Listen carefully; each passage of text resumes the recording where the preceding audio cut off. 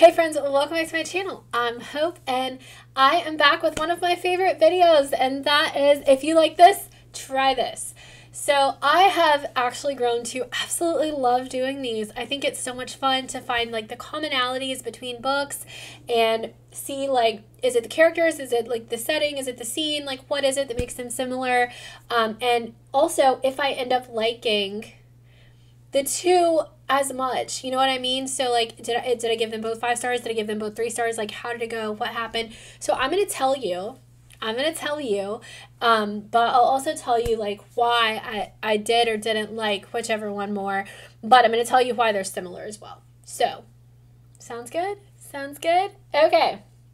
So the first one that I have is The Princess and the Rogue by Kate Bateman. This is part of the Bow Street Bachelor series. Absolutely love it. And in this one, we are following our main characters. I'm not going to go like super in depth with like names and everything, but someone's out to get her. He has to keep her safe. And in the process, he falls for her. Okay, love it. Love like a bodyguard esque situation. Um, also, like, let's take a second. That's absolutely stunning. So, if you have read this and like it, um, might I suggest Kiss Me at Christmas by Valerie Bowman? So we have the same sort of scenario here. We have a hero who has to protect our heroine from something and in the process falls for her. Like, okay, sounds great, right? Um, I gave this one five stars. And I gave this one five stars. So, I absolutely adore both of these. I think they're fantastic. They do have a lot of commonalities um, a super protective hero, a heroine who's kind of like independent, but also is like someone's out to get her she doesn't know why. And honestly both of these have like a great scene where like they meet kind of. So in this one she propositions him. In this one he thinks she works at a brothel. Like it's so fun. So i honestly recommend both of these. If you have read the Princess and the Rogue. I, I really believe that you will love Kiss Me at Christmas. Um, I think you could read this at any point as well. It's not super Christmas heavy, even though it's a little bit Christmas heavy. So, yes. Next, I have Waiting for a Scot Like You by Eva Leigh. In this one, we have a hero who is escorting a hero- our heroine on a road trip that is absolutely filled with calamities. So he's actually escorting her to a house party. Um, he doesn't want to, he's doing it as a favor, but like literally everything that could go wrong goes wrong. I absolutely loved it. Um, and then if you like that one, I think you'll like Lord Holt Takes a Bride by Vivienne Lorret. So in this one, we have a hero and a heroine who have embarked on a road trip. Um, neither of them really want to be there, and also everything goes wrong. so in this one, it's a little bit different because she ran away from a wedding and he is taking her to her aunt's house. Um, but still a long road trip and literally everything that could go wrong goes wrong. I really believe that you'll like them. The road trip similarities in these are super good. They're a whole lot of fun. Um, I love like a road trip, but I especially love a road trip that is just full of chaos and shenanigans. Like, let me tell you 10 out of 10. So, Waiting for a Scot Like You, I gave five stars. This is my first Eva Leigh book, and I absolutely adored it.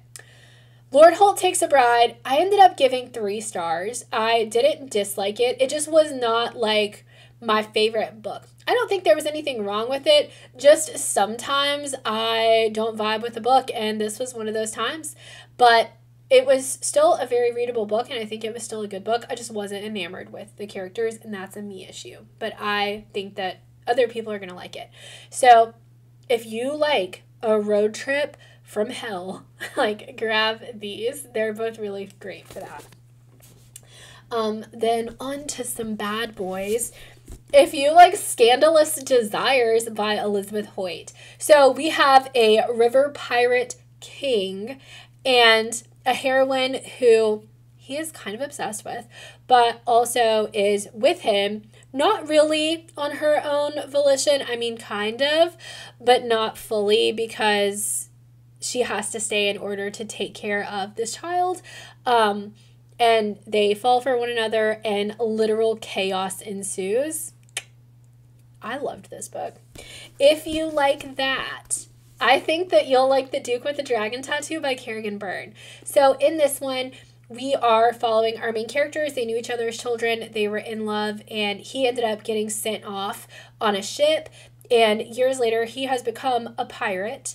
Um, and on her wedding day, he comes and grabs her and kind of kidnaps her, takes her with takes her with him, and literal chaos ensues. Um, this one is really good. It's a little bit dark, but it's super good. I absolutely adored it. Also, like, I think this one is so pretty. But this one is super good.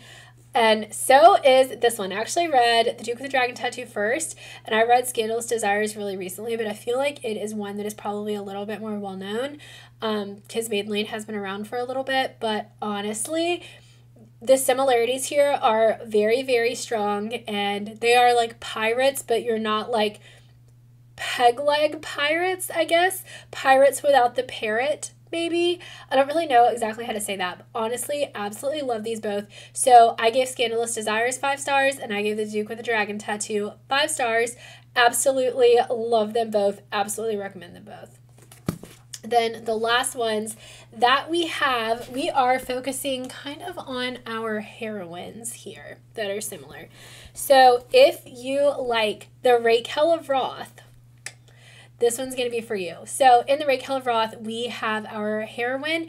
She writes this like romance column, this like love and romance kind of advice column. And she is married, but her husband is absent. So she ends up embarking on a quest to win him back. But like throughout all of that, like you get all this great advice from the column. She actually writes it with a friend of hers, and she's a super strong heroine. She is willing to go to the ends of the earth. Like she is so fantastic. I absolutely love it. If you like a heroine like that, you are going to like The Truth About Love and Dukes by Laura Lee Guhrke. In this one, we have a heroine who writes a column called Lady True Love, which is like a relationship advice column in a scandal sheet. And she ends up meeting a duke because she gives advice to his mother that his mother takes and he wants her to fix it. So she ends up like coming into the duke's home and he's introducing her to society. So a little bit different like in total but we have another heroine who writes a super fun super great column that she made herself. So a like self-made author heroine um, who will do anything. She is so passionate about what she does. She's so passionate about her family, like 10 out of 10. So, if you like the heroine in The Raquel of Roth, I really think that you're going to like the heroine in The Truth About Love and Dukes. So, I gave The Raquel of Roth five stars. I gave The Truth About Love and Dukes three stars.